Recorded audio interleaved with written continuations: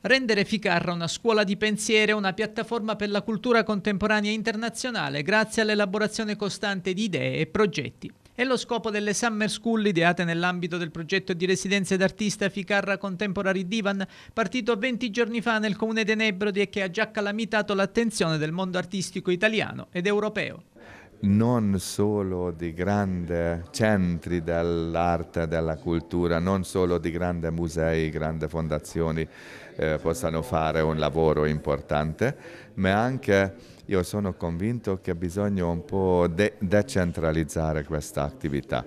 È molto importante che